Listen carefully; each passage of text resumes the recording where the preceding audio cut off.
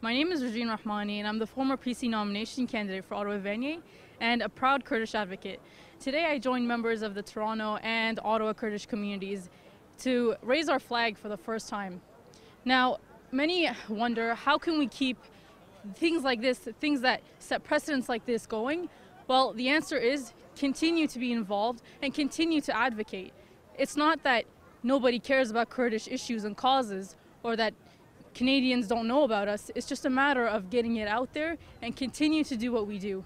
So gentlemen like Sertip and Chato who keep things like this rolling is the reason why today happened and nothing makes me more proud than a Kurd to do this. Thank you all so much for coming today and thank you to those in Kurdistan for watching.